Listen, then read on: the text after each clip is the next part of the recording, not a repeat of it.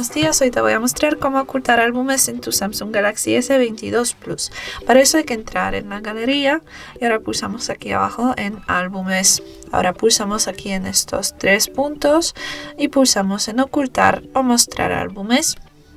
Y ahora tenemos aquí álbumes que podemos ocultar. Para hacerlo pulsamos en este botón y cuando volvemos vemos que el álbum ya está ocultado.